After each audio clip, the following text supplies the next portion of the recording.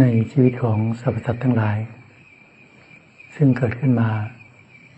ในแต่ละภพแต่ละชาตินั้น ย่อมมีความทุกข์เสียดแทงจิตใจด้วยกันทั้งหมดทั้งสิ้น ไม่มีภพภูมิใด ที่จะไม่พบความทุกข์ที่เกิดขึ้นภายในจิตใจของสัตว์ทั้งหลาย นอกจาก พระนิพพาน คือการดับความโลภดับความโกรธดับความหลงจึงจะพ้นไปจากภพที่มีกิเลสทั้งหลายทั้งปวง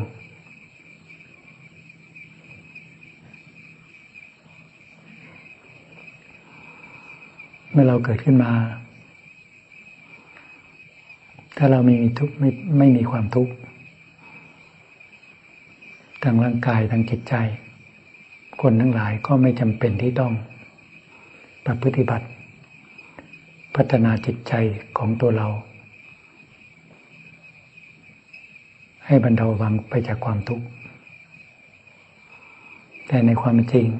เมื่อเราทั้งหลายบังเกิดขึ้นมา ก็มีความทุกข์ทางร่างกายทางจิตใจ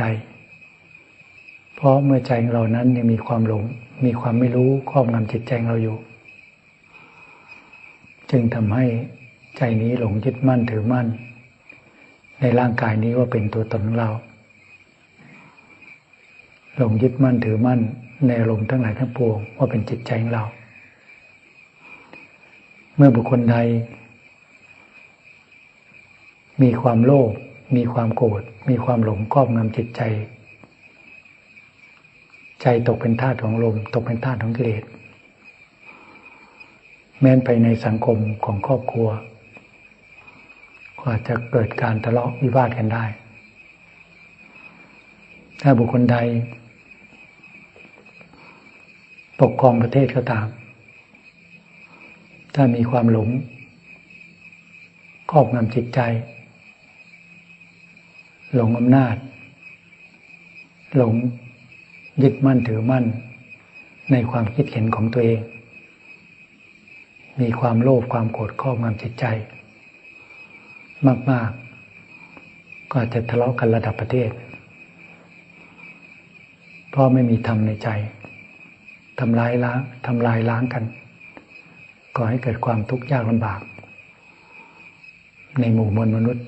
และสัตว์ทั้งหลายไม่มีประมาณ เพราะความหลงกิเลสครอบงำจิตใจ ก็ไม่รู้เท่าทัน ตกเป็นทาสของกิเลส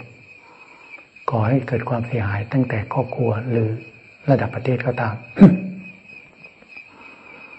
เพราะฉะนั้นเมื่อพวกเราทั้งหลาย ได้รู้จักความทุกข์ ได้เห็นความทุกข์ทางร่างกาย เห็นความทุกข์ภายในจิตใจ เราทั้งหลายจึงจะแสวงหาทางออกจากความทุกข์ หรือแสวงหาความพ้นทุกข์ถ้าคนทั้งหลายไม่เห็นความทุกข์ด้วยปัญญา ก็จะไม่หาทางออกจากความทุกข์ เพราะจะมีความหลง ติดอยู่กับการแสวงหาความสุขในรูปเสียงรสสัมผัสในวัตถุธาตุทั้งหลาย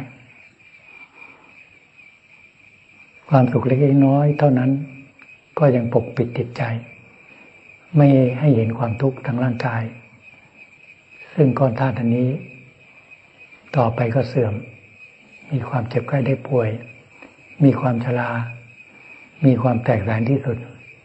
ก็ไม่เห็นพราะมัวหลงมัวเพลิดเพลินอยู่ ไม่เห็นว่าชีวิตนี้ มีอายุไขซึ่งสั้นนัก แม้นลมไปในจิตใจก็เช่นเดียวกัน ถ้ามีเห็นความทุกข์จากความโลภความโกรธ ความยินดีในการทั้งหลาย ก็จะไม่หาทางออกจากความทุกข์ก็จะหลงเพลิดเพลินพอใจในอารมณ์ทั้งหลายทั้งปวง ซึ่งเป็นอุบายค่ายกลของกิเลสซึ่งหลอกจิตใจให้ติดอยู่ มีความพอใจในรูปเสียงที่เราสัมผัส มีความไม่พอใจในรูปเสียงที่เราสัมผัส ใจก็ติดอยู่คล้องอยู่ตรงนั้น มีความเพลินไป หลงติดอยู่ ก็เลยออกจากความทุกข์ไม่ได้ เพราะไม่เห็นความทุกข์จากความโลภที่ไม่มีที่สุด ไม่เห็นความทุกข์อันเกิดจากความอาฆาตวิบาทความโกรธความไม่พอใจ ไม่เห็นความทุกข์จากความยินดีในการทั้งหลายกับมองเห็นเป็นความสุขในสิ่งทั้งหลายทั้งปวงเหล่านี้ จิตใจสัตว์ทั้งหลายจึงติดอยู่ในภพในชาติ มานะภพนับชาติไม่ท้วน เมื่อเราทั้งหลายเห็นความทุกข์พยายามที่หาทางออกความทุกข์ด้วยรูปแบบที่เข้ามาบัญชาสมบทในพรพุทธศาสนา เพราะว่าในเพศของสมณะ ในเพศของสมณเณรนั้น สามารถปฏิบัติ มีโอกาสปฏิบัติได้ง่ายกว่า เพศครวาทั้งหลาย เพราะเพศครวาทั้งหลาย มีหน้าที่การงานต่างๆ ในการประกอบอาชีพ เพื่อการรงชีวิตเพื่อความอยู่เป็นสุข มีภาระหน้าที่ภายในครอบครัว ยังคล่องอยู่ ยังติดอยู่ แต่เราทั้งหลายเมื่อออกมาได้แล้ว สละหน้าที่การงานสละการใช้ชีวิตครอบครัว เข้ามาบรรชาสมบูรณ์อันนึกว่าทางหนทางสะดวกหนทางปลอดโปร่งแล้ว จะเอามรรคผลนิพพาน จะให้บรรลุมรรคผลนิพพาน ทางที่จออกจากความทุกข์ ที่พระพุทธองค์ทรงชี้ทางบอกทางไว้ ให้พุทธวิสัตว์ทั้งหลาย พากันบำเพ็ญศีลบารมี สมาธิบารมี ปัญญาบารมี เพื่อรู้แจ้งในยสัตว์สี่คือกำหนดรู้ถึงความทุกข์กำหนดรู้ถึงสาเหตุที่เกิดทุกข์กำหนดรู้ถึงความดับความทุกข์ กำหนดรู้ถึงข้อประพฤติบัติอันเป็นไปเพื่อความดับความทุกข์เมื่อเข้ามาบูชาสมบทหรือเข้ามาในเบื้องต้นนั้น เป็นประขาวกสินแปดทรงสินให้ได้ มีกำลังใจเข้มแข็งก็เปลี่ยนเป็นสินสิบของสมณเณรผ่านวัยที่จะบัญชาสมบทเป็นพระภิกษุในพรพุทธศาสนา ก็มีศีลสองรอยี่สิบเจ็ด ตามฐานะตามกำลังใจของแต่ละบุคคลตามวัยแม้นกำลังของศีลเนี่ย ก็เป็นกำลังพื้นฐานนั่นเองแต่เราทั้งหลายสามารถที่จะส่งศีลให้บริสุทธิ์ได้หรือไม่ เราติดเตียนตัวเองได้หรือไม่ หรือเพื่อนสาธมิกติดเตียนเราได้หรือไม่ ในการที่จะประพฤติพรหมจรรย์นี่เรื่องของศีลเนี่ย บางทีมองดูเผินๆ คิดดูเผินๆก็นึกว่าง่าย แต่บางทีมันก็ยาก เพราะกิเลสนั้นมีค่ายกลหลอกให้เรามีกิเลสตัณหา มีความโลภมีความโกรธมีความยินดีในการทั้งหลาย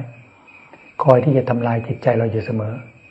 ทั้งๆทที่ใจเราตั้งใจที่จะ เข้ามาบัญชาสมบทมาเพื่อปฏิบัติเพื่อที่ทำลายกิเลสแต่ช่องว่างของจิตซึ่งมีความหลงนั่นแหละ กิเลสเขาโผล่ขึ้นมา จะทำลายจิตใจเราได้ตลอดเวลา เมื่อเราขาดสติขาดปัญญานั้นศีลนั้นให้มันมั่นคงสำรวมในพระธรรมวินัยสำรวมในพระปฏิโมกข์สำรวมทั้งกายวาจาและจิตใจ ให้อยู่ในขอบเขตของธรรมวินัย ขนาดนั้นกำลังใจก็ไม่เพียงพอที่จะละกิเลสหรือทำลายกิเลส เพราะด้วยกำลังของศีลก็เป็นเพียงที่ ให้ร่างกายสงบ ให้วาจางเราสงบ ให้ใจเราสงบในระดับหนึ่ง แต่กิเลสซึ่งยังมีอยู่ภายในจิตใจของคนเราทุกคนในความโลภก็ดี ในความโกรธความอาฆาตพยาบาทก็ดี ในความพอใจไม่พอใจก็ดี ในกิเลสตัณหาทั้งหลายก็ตาม ก็ยังมีอยู่ภายในใจของเรา ถ้าเราไม่มีสติไม่มีสมาธิ แน่นอนใจเราจะฟุ้งซ่านปรุงแต่งไปเรื่องทั้งโลก ปรุงแต่งไปเรื่องนั้นเรื่องนี้ ตลอดทั้งวัน ถ้าไม่นอนก็ตลอดทั้งคืน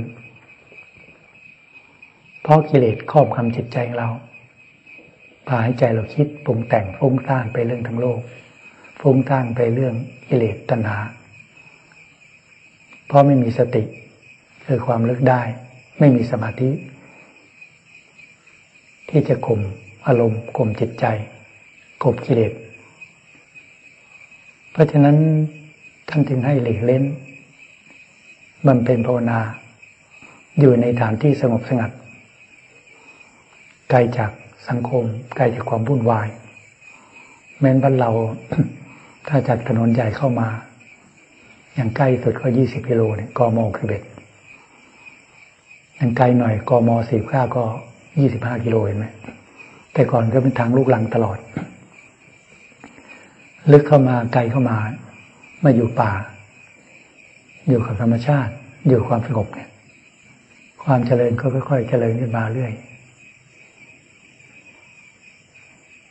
แต่ความสงบก็ยังมีอยู่ ความสงบทั้งบรรยากาศภายนอก คือธรรมชาติแห่งความเงียบสงัด แต่ความสงบภายในจิตใจเรานั้นมีหรือยังถึงแม้ว่าภายนอกรอบๆบริรอบๆ บรรยากาศรอบๆข้างเนี่ย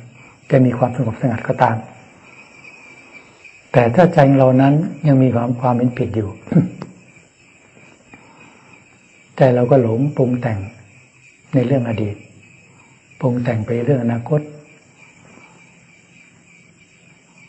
ยังไม่ทันออกพรรษาก็ปรุงแต่งไปออกพรรษาปรุงแต่งไปหลังกตินนะปรุงแต่งจะไปนู่นไปนี่ นี่แหละกิเลสตัณหา มันพาให้ใจหลง มันไม่รู้ว่าจะตายคืนนี้หรือจะตายพรุ่งนี้ นั่นแหละ การขาดสติปัญญา จิตก็เลยไม่อยู่ในปัจจุบัน จิตเลยหลงปรุงแต่งไป ความนึกคิดปรุงแต่งอะมีได้ แต่เราต้องรู้จักปรุงแต่งไม่คิดไปเรื่องอนาคตวางแผนการได้ แต่เสร็จแล้วต้องตัดกลับมาอยู่ณปัจจุบัน เพราะอนาคตก็ไม่แน่นอน แม้ปัจจุบันยังไม่แน่นอนเลย และความคิดเหล่านั้นก็ไม่แน่นอน เดี๋ยวจะไปที่นู่น เดี๋ยวจะไปที่นี่ เดี๋ยวอยากไปนู่นไปนี่ มันเปลี่ยนตลอดเวลา เปลี่ยนทุกๆวัน เรียกว่าความลงเล ความไม่มั่นคงภายในจิตใจเรานั้นอยู่ที่ไหนก็ต้องไปบัตรภาวนา ยิ่งอยู่ในพรรษาเนี่ย ก็ถูกจำกัดไว้ด้วยการอธิษฐานจำพรรษา อยู่ในฐานที่แต่ละแห่ง นี่แหละเป็นการตัดกังวล ว่าเราไปไหนไม่ได้หรอก ในระยะเวลาสามเดือนนี้ ต้องอยู่บำเพ็ญภาวนาในฐานที่เดียวเนี่ยนี่แหละ พระพุทธเจ้าท่านบัญญัติไว้เป็นประโยชน์หมด เพื่อประโยชน์ทั้งนั้นที่จะเกื้อกูลแก่การประพฤติบัติ อยู่ในที่เดียวเราทำข้อวัดปฏิบัติ มีทุดงควัดเป็นเครื่องขูดเกาจิเลสเราก็ซัดได้เต็มที่ ความกลก็น้อยเพราะยังไม่ออกพรรษา สติต้องกลับมาอยู่ปัจจุบัน ความเพียรเพื่อที่จะละความฟุ้งซ่าน ความนึกคิดปรุงแต่งต่างๆ ที่เกิดขึ้น ในปัจจุบันเกิดขึ้นในใจเรานะจะปรุงแต่งตลอดเวลานั่นแหละ ถ้าเราไม่รู้จักที่จะควบคุมจิตใจเรา ด้วยการบำเพ็ญสมาธิ จิตใจก็จะฟุ้งซ่านก่อให้เกิดกิเลสตัณหา ฟุ้งซ่านจนไม่สามารถจะอยู่ได้ก็มี ฟุ้งซ่านจนไม่สามารถอยู่ได้ตลอรอดฝั่งก็มีกันมาก การที่จะควบคุมให้จิตใจเรานั้นมีความสงบเยือกเย็นใจต้องทำสมาธิ หน้าที่การงานของพระเราครูบาอาจารย์ก็บอกต่อๆกันมาว่า คือการกระทำความเพียรเพื่อแผดเผากิเลสไปในจิตใจของเรา หน้าที่ของสมณะสมณเณรคือการเด่นกลมนั่งสมาธิ เมื่อท่านสละหน้าที่การงานต่างๆมาแล้ว ก็เปลี่ยนการทำการงานเป็นการเด่นกลมนั่งสมาธิ ฉันประทานของชาวบ้านเขาแล้ว ที่ใส่บาตรหรือมาพัฒวะหรือมาถวายประทานที่วัด หรือมาทำงานถวายที่วัดก็ตาม นั่นแหละ ก็สนับสนุนส่งเสริมให้เรามีกำลังกาย ซึ่งเข้มแข็งที่จะทำความเพียรได้สะดวก เมื่อฉันเสร็จแล้วทำกิจธุระส่วนตัวเสร็จแล้วก็เข้าที่เดินหนึ่งกลมสลับกับนั่งสมาธิไป พาลบความเพียรตลอดเวลา ถ้ามีกิจส่วนรวม ซึ่งเป็นกิจวัตรประจำวัน ก็รวมกันด้วยความ ด้วยความสามัคคีไม่มีมายาทาไตแต่มีสติที่จะตามรักษาจิตของตนไป ทุกๆเอียบทไม่ว่าจะยืนเดินนั่งทำกิจจะวัดประจำวันก็แล้วแต่มีสติ เอาสติไว้ที่ไหน เอาสติไว้ที่ใจของเราเนี่ยเฝ้าดูใจของเรา จะทำการงานอะไรก็มีสติหน้าที่การงานนั้น ๆ ถ้าว่างจากภาระหน้าที่การงานต่างๆ ก็สติเฝ้าดูใจเรา เพราะความคิดปรุงแต่งเกิดขึ้นที่ใจ ไม่ว่าจะคิดเรื่องอดีต คิดเรื่องอนาคตก็เกิดขึ้นที่ใจ ไม่ว่าจะคิดเรื่องที่ดีก็เกิดขึ้นที่ใจ ไม่ว่าจะคิดเรื่องที่ไร้สาระ ไม่มีแก่นสารก็เกิดขึ้นที่ใจ นั่นแหละทางออกของกิเลสเพียงแต่มีสติเฝ้าดูใจของเรา ก็จะเห็นละเห็นความนึกคิดทุกสิ่งทุกอย่าง ซึ่งพังโผมา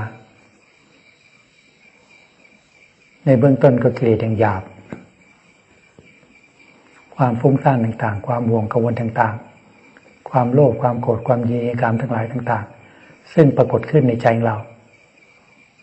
เราจะมีสติเห็นอารมณ์ชัดก็แต่เมื่อ เรามีความอดทนมีความเพียร นั่งสมาธิภาวนาเดินกรมกำหนดสติให้ต่อเนื่องอยู่เสมอ นั่งสมาธิตอนเช้าไม่สงบ ตอนสายๆก็นั่งอีก นั่งไม่สงบ ตอนบ่ายก็นั่งอีก ไม่สงบกลางคืนก็นั่งอีก หรือสงบก็นั่งอีก นั่งเรื่อยๆนั่งสงบมากๆ หรือเดินกรมไม่สงบตอนเช้า ตอนสายก็เดินอีก ไม่สงบตอนบ่ายก็เดินอีก ไม่สงบกลางคืนก็เดินอีกนี่แหละ เดินโยกมนั่งสมาธิตลอด ถ้าไม่สงบก็ทำให้มากเจริญให้มาก ถ้าสงบความสงบเกิดขึ้น นั่งตอนเช้าก็สงบ ก็นั่งตอนสายก็สงบ นั่งตอนบ่ายก็สงบ นั่งคืนก็สงบ ก็นั่งไปอย่างนั้นนั่งมันสงบ นั่งให้ใจเป็นหนึ่ง เป็นเอกตาลมเอกตาจิต ให้จิตเป็นหนึ่ง มีสติมีสมาธิแนบแน่นอยู่ที่ใจของเรา เมื่อสติสมาธิแนบแน่น ความฟุ้งซ่านต่างๆ ก็จะหายไป การวิตกวิจารณ์ต่างๆ ก็หายไป ใจก็สงบเยือกเย็น เยือกเย็นด้วยอารมณ์ของสมาธิ คือปิติ มีปิติทางใจก็สงบเยือกเย็น มีความสุขของสมาธิก็สงบเยือกเย็นใจ ใจเป็นเวขาก็มีความสงบเยือกเย็น ไม่ฟุ้งซ่านไม่ลำคาญ ใจมีความสงบเยือกเย็นเบิกบาน มีความล่าเริง มีความอิ่มอยู่ในใจ ใจก็อยากปาลบความเพียรเพราะเห็นความสงบเกิดขึ้นที่ใจ อยากจะประคองความสงบไว้ อยากจะให้ความสงบมีนานๆอยากให้ทรงสมาธิได้ ก็ทำไม่หยุด วันนี้สงบพรุ่งนี้ทำความเพียรอีกพรุ่งนี้ก็สงบพรุ่งนี้ทำอีกบริเวณนี้ก็สงบมันต่อเนื่องกัน จากนั่งสมาธิสงบก็เดินโยมให้สงบทำสลับกันไปอยู่อย่างเงี้ยจนสติเริ่มต่อเนื่อง เมื่อสติเริ่มต่อเนื่อง สติสมาธิตั้งมั่น ก็เห็นจิตเห็นอารมณ์เพียงแต่ตั้งสติ มาดูจิตก็เห็นอารมณ์เห็นอารมณ์ชัด ความฟุ้งซ่านเกิดขึ้นก็เห็น ก็จะมีอุบายปัญญาพิจารณาละออกไป ความโลภเกิดขึ้นก็เห็น ก็มีอุบายปัญญาละออกไป ความโกรธความไม่พอใจเกิดขึ้นก็เห็น ก็มีอุบายปัญญาละออกไป เพราะสติสมาธิ เฝ้าดูอยู่ ตั้งมั่นอยู่ ปัญญาก็พิจารณาละออกไป จิตก็ว่างจากลมทุกขณะจิต เมื่อสติปัญญาทำงานพิจารณาละออกไปแล้วจิตก็ว่าง ทุกขณะจิต เมื่อว่างก็ทรงสติทรงสมาธิอยู่ณปัจจุบัน มีอารมณ์ก็พิจารณาลมอารมณ์จะเกิดขึ้นก็ต่อเมื่อตายรูปก็เกิดความพอใจไม่พอใจ หูยินเสียงก็เกิดความพอใจไม่พอใจ จมูกดมกลิ่นก็เกิดความพอใจไม่พอใจ ลิ้นสัมผัสรสก็เกิดความพอใจไม่พอใจกายสัมผัสเย็นร้อนนอนแข็ง ก็เกิดความพอใจและความไม่พอใจหรือความเฉยสติปัญญาซึ่งเห็น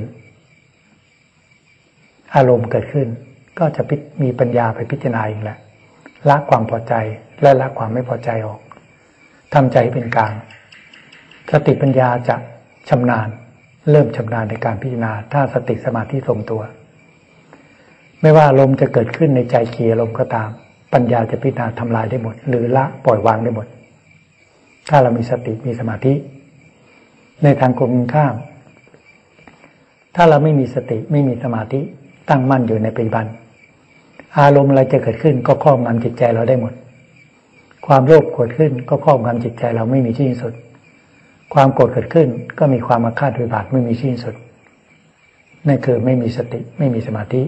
ความยินดีในการทั้งหลายเกิดขึ้น ก็ปล่อยให้นึกคิดปรุงแต่งให้ฟุ้งซ่านไป ตามหน้าของอารมณ์ ซึ่งครอบงำจิตใจของเรา ใจก็เลยตกเป็นทาสของกิเลสเมื่อเราต้องการที่จะทำลายกิเลสหรือดับความโลภดับความโกรธดับความหลงเราก็ต้องมีความอดทนมีความเพียร ที่จะต้องทำความเพียรทุกๆวัน ไม่ท้อต่อย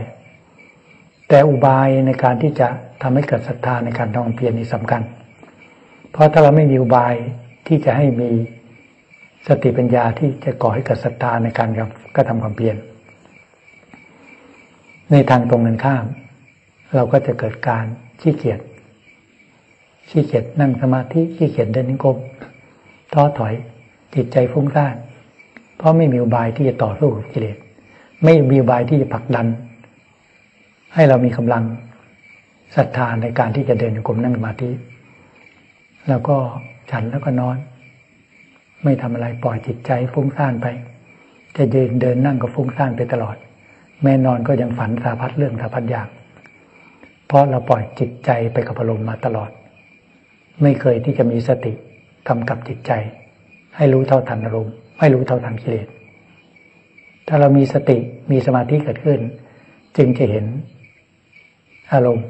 เห็นความคิดทุกสิ่งทุกอย่าง ซึ่งเกิดขึ้นที่ใจของเรา ถ้าสติสมาธิทรงตัว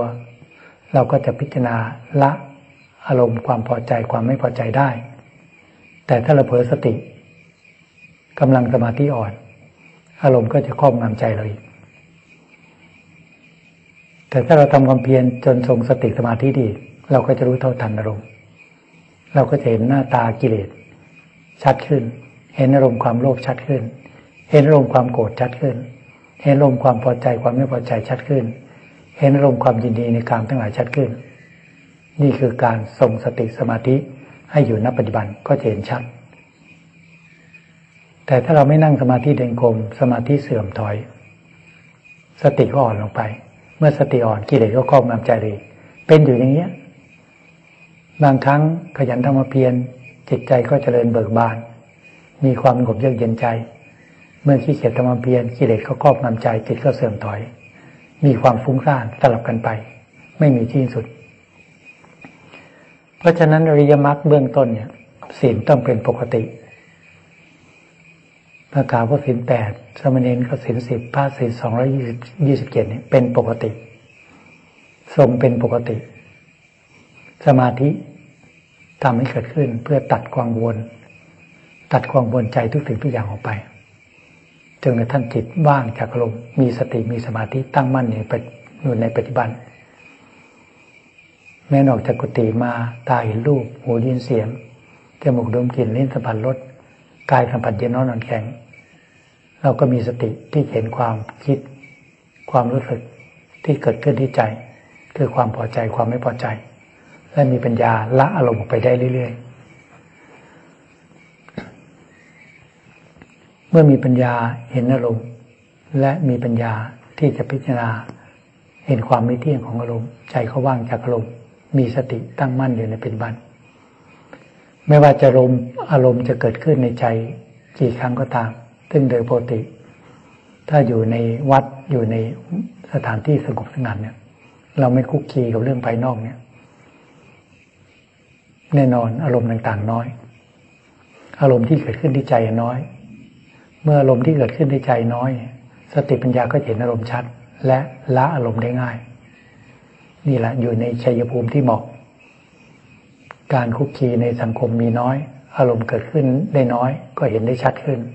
มีกำลังที่จะพอที่จะต่อสู้กับอารมณ์ได้ มีกำลังที่จะต้านทานกับอารมณ์ได้ เพราะสมาธิทรงตัว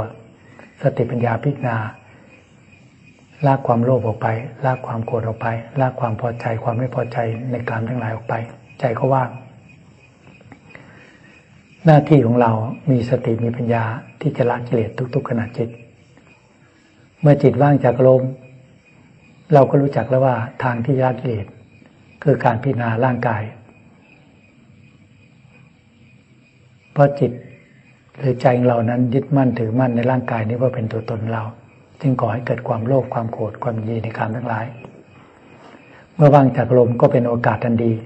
ที่เราจะพิจารณาร่างกายนี้ เมื่อสติสมาธิทรงตัว จะเดินกลมก็กำหนด ร่างกายเป็นโครงกระดูกก็ได้กำหนดร่างกายเน่าบ้างแห้งบ้างก็ได้ หรือพิจารณาผมขนเล็บฟันหนังให้เห็นเป็นปฏิคูลก็ได้ เนี่ยด้วยกำลังของสติสมาธิซึ่งทรงตัว ก็จะชำแหละออกไป จะชำแรกออกไปด้วยสติปัญญา สอนจิตสอนใจให้เห็นความไม่เที่ยง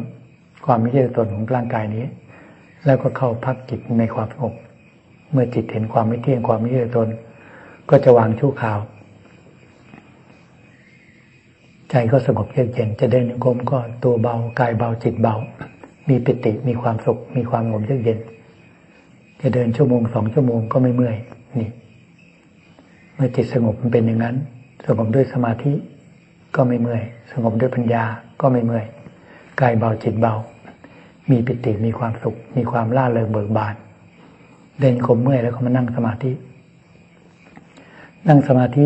จิตใจอยากทำความสงบก็พักจิตในความสงบ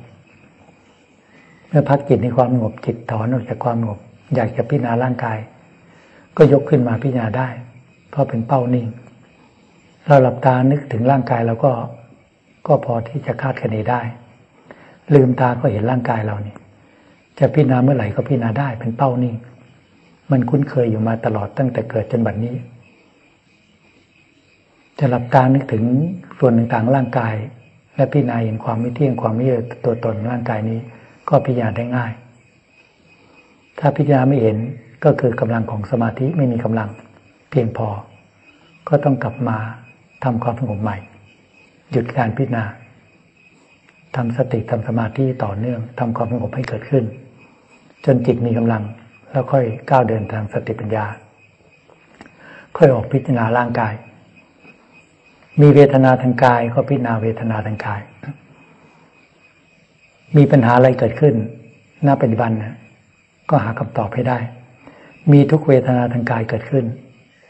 นั่งนานๆมีทุกเวทนาเกิดขึ้น เลื่อนลมเดินไม่สะดวก ปวดขาปวดร่างตามร่างกายต่างนั่นแหละสติสมาธิซึ่งตั้งมั่นหรือทรงตัวก็ใช้ปัญญาไปพิจารณา ให้เห็นความไม่เที่ยงของร่างกายนี้ ให้เห็นความไม่เชื่อถือของร่างกายนี้ แยกใจออกมา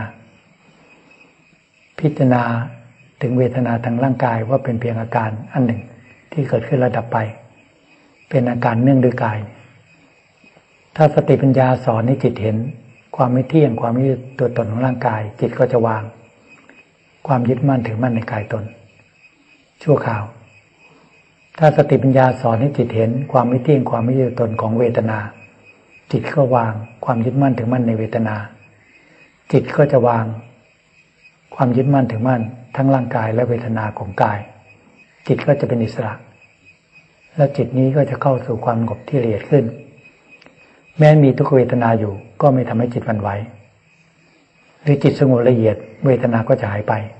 เพราะด้วยกำลังของสติปัญญา ซึ่งพิจารณากายพิจารณาเวทนาและปล่อยวาง ก็เข้าสู่ความสงบที่ละเอียด เมื่อจิตพักอยู่ในความสงบจิตก็มีความสงบเยือกเย็น เมื่อจิตถอนออกจากความสงบเมื่อออกจากยาบทนั่งสมาธิสติสมาธิก็ทรงตัวอยู่ในปัจจุบัน แม้ออกจากยาบทแดงกลมสติสมาธิก็ทรงตัวเช่นเดียวกัน จะยืนเดินนั่งหรือทำอะไรก็มีสติกำกับจิตใจไปตลอด เมื่อตายรูปกิเลสโผล่ขึ้นมาอีกจิตก็เห็น สติปัญญาก็เห็น ปัญญาก็พิจารณาละ ความพอใจความไม่พอใจ ในรูปเสียงที่เราสัมผัส ออกไปเนี่ยทำเช่นนี้สลับกันไป เพียงแต่มีสติเฝ้าดูใจ ค้นคว้าหาทางทำลายกิเลสที่จิตใจของเรา ต้อนกิเลสเข้าไปด้วยศีล ด้วยธรรมวินัย ควบคุมกายวาจาให้สงบด้วยสมาธิ ควบคุมใจเราให้สงบด้วยสติปัญญาค้นคว้าหาทางทำลายกิเลสตั้งแต่ยังหยาบ คือความโลภความโกรธความพอใจความไม่พอใจในรูปเสิ่งที่รสสัมผัสความยินดีในการทั้งหลาย ละออกไปให้บรรเทาบางไป แล้วก็ละกิเลสอย่าง อย่างกลางอย่างละเอียด สติปัญญาต้องรู้เท่าทัน เมื่อกิเลสยังยาวออกไป กิเลสยังยังกลางมันก็จะเห็นชัดขึ้น เพราะความโลภความโกรธความยึดมั่นถือมั่นในตัวตนน้อยลงไป อารมณ์มันก็เบาไปอารมณ์ความโลภก็เบาลงไป อารมณ์ความโกรธก็เบาลงไป อารมณ์ความความยึดมั่นถือมั่นในตัวตนก็น้อยลงไปศีลก็ทรงตัวสมาธิก็ละเอียดขึ้น เพราะอารมณ์มันน้อยมันเบา สติปัญญาก็จะเลียดจะเลียดขึ้นไปอีกจะพิจารณาละความโลภก็ละได้ง่าย จะพิจารณาละความโกรธก็ละได้ง่าย จะพิจารณากายในกายเพื่อละความยึดมั่นถือมั่นในตัวตนก็ละได้ง่าย เพราะมีความชำนาญตั้งแต่เบื้องต้นแล้วสติปัญญาก็จะชำนาญไปเรื่อยหมุนไปเป็นธรรมจักรที่ตัดกิเลสไปในใจของเรา มันตัดไปเรื่อยๆตัดอารมณ์ ตัดความยึดมั่นถือมั่นในกายตน สติปัญญาหมุนไป หมุนไปตั้งแต่เบื้องต้นนั่นแหละ ไม่ใช่หมุนไปแต่เบื้องปลาย เบื้องต้นก็หมุนแล้วหมุนด้วยสติปัญญา ที่ค้นคว้าหาทางทำลายกิเลสตั้งแต่กิเลสอย่างหยาบกิเลสอย่างหยาบหมดไปก็ละกิเลสอย่างกลาง กิเลสอย่างกลางหมดไปก็ละกิเลสอย่างละเอียดอริยมรรคคือศีลสมาธิปัญญาก็เดินไปตามเส้นทางนั่นแหละ มันก็จะละได้ เพราะฉะนั้นเราทั้งหลายต้องมีความอดทนมีความเพียรไม่ต้อต่อย เอาใบกับศรัทธาความเพียรอยู่เสมอ ในทุกๆวันกิเลสก็อยู่ที่ใจ จะดับกิเลสก็ดับที่ใจ ความโลภก็ทิ้งมาแล้วทุกสิ่งทุกอย่าง จะเกิดเกตัณหาก็จะมีอยู่ภายในใจ ก็ใช้สติปัญญาควบคุมไม่ดี ใช้ปัญญาพิจารณาละอารมณ์ออกไป ความโกรธความมาฆ่าดิบาทก็ละไปให้บางไปเรื่อยจเจริญเมตตาให้ไปถึงกันและกัน ละไปเรื่อยๆทุก ๆขณะจิต ให้เฝ้าดูใจเรา เมื่อลมเกิดขึ้นก็ละไปเลย ในปัจจุบัน ความดีในการทั้งหลายก็เต้นเดียวกัน ตั้งใจจะทำลาย ตั้งใจจะละ จึงประพฤติพรหมจรรย์ไม่ให้มันเกิดขึ้น ถ้ามันเกิดขึ้นสติเห็น สมาธิมีความอดทนอดกั้นต่อลม ปัญญาพิจารณารูปภายนอกหรือกายภายนอก หรือกายภายใน พิจารณาสลับกันไป แยกแยะทำลายไปทำลายอารมณ์ละอารมณ์ปล่อยวางอารมณ์สติ สมาธิปัญญาก็อยู่ในปัจจุบัน จิตก็ว่าง เนี่ยทำลายไปเรื่อยจิต จากว่างชั่วคราวก็ว่างถาวรเพราะด้วยกำลังของศีลสมาธิปัญญา ก็หมุนตัวไปเป็นธรรมจักรที่ตัดกิเลสตั้งแต่อย่างหยาบอย่างกลางอย่างละเอียดเขาก็ละได้ด้วยวิธีนี้ทั้งนั้นพระพุทธเจ้าท่านก็ละได้ด้วยวิธีนี้ พระหลานสาวกทั้งหลายก็ละด้วยวิธีนี้ เราทั้งหลายผู้มุ่งหวังมรรคผลนิพพาน ก็ต้องดำเนินตามรอยของครูบาอาจารย์ สำรวมในพระปฏิโมกสำรวมในอินทรีย์สังวรปาลบความเพียรอยู่เสมอ ตลอดทั้งวันทั้งคืน เว้นแต่ตอนพักผ่อนทางร่างกายบ้าง พอประมาณ นอกนั้นปาลบความเพียรตลอด ตั้งแต่ลืมตาจนกระทั่งหลับตา ปาลบความเพียรตลอด อาบายให้เกิดศรัทธาความเพียรอยู่เสมอ จึงจะประสบความสำเร็จ สมาธิไม่เคยมีก็จะเกิดขึ้น เมื่อเกิดขึ้นแล้วก็ต้องทรงสมาธิให้ได้ เมื่อทรงสมาธิได้สติปัญญาก็เกิดขึ้น ที่จะปัญหารประหารกิเลสทำลายกิเลสภายในจิตใจของเรา ไม่ปล่อยให้ความโลภความโกรธความหลงทำลายจิตใจของเรา เหมือนดังเช่น คนทั้งหลายที่อยู่ในโลกนี้ ที่ก่อให้เกิดความวุ่นวาย ทั้งครอบครัวทั้งสังคม ก็เพราะว่าก่อปล่อยปล่อยให้กิเลสคลองใจ ปล่อยให้กิเลสมีอำนาจเหนือใจ ใจจึงตกเป็นทาสของกิเลสไม่รู้กี่ภพกี่ชาติ เราทั้งหลายจะมาปฏิวัติ จะมาปฏิวัติกิเลสซึ่งมีอยู่ภายในจิตใจของเรา จะมาทำลายกิเลสคือความโลภความโกรธความหลงให้สิ้นไปจากจิตใจของเรา เราก็ต้องมีความอดทนมีความเพียรไม่ท้อถอยครูบาอาจารย์จึงกล่าวว่าทำทั้งหลายอยู่ฟากตาย สละ ทรัพย์สมบัติวัตถุสิ่งของต่าง เพื่อรักษาร่างกายและชีวิต สละอายวะเพื่อรักษาชีวิต แต่เราจะสละทุกสิ่งทุกอย่าง แม้แต่ชีวิตเพื่อรู้ธรรมเห็นธรรมเพื่อต้องการที่จะรู้ธรรมเห็นธรรมนี่ครูบาอาจารย์ทั้งหลายที่ท่านมีจิตใจเดียว จึงจะรู้ธรรมเป็นธรรมและจิตใจเป็นธรรมขึ้นมา คือทำให้แจ้งถึงปฏิบัติ ให้เราทั้งหลายพึงพยายามสำรวมจิตใจเราให้ดี อย่าประมาทอย่าปล่อยวันเวลาให้ล่วงเลยไปโดยเปล่าประโยชน์ ในแต่ละวันแต่ละคืนให้ทำความเปลี่ยนให้มากจำวัดพอสมควร ฉันประทานแต่พอดี เพียงเพื่อประพฤติบัติในวันหนึ่งกับคืนหนึ่งและพยายามสำรวมจิตใจ อย่าให้เกิดกิเลสตัณหาเมื่อเกิดกิเลสตัณหาเกิดขึ้น ก็มีปัญญาที่จะละกิเลสในทุกๆขณะจิตทุกๆวัน ถ้าทำไปเช่นนี้ไม่วันใดวันหนึ่ง กิเลสนั้นก็จะสิ้นไปจากจิตใจของเรา ในวันนี้ก็ให้ความคิดเห็นกับพวกเราพอสมควร ก็ขอยุติที่เพียงเท่านี้นันธรรมยังโอวาทคาถาสาธุการังทธามาเสสาธุสาธุสาธุอนุโมทามิ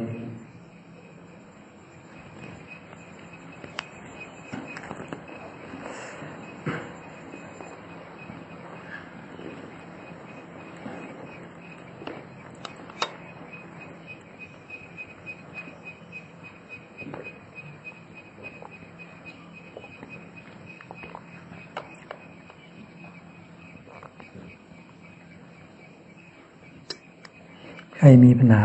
เรื่องการภาวนาบ้างไหม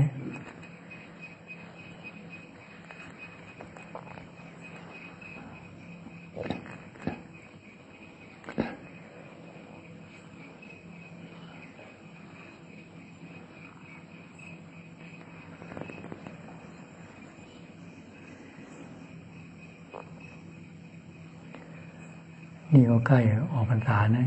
อีกสิบห้าวัน บห้าวันหนึ่งโบสถหนึ่งก็ถึงวันภาวนาพรรษาให้พากันตั้งใจภาวนาให้มาก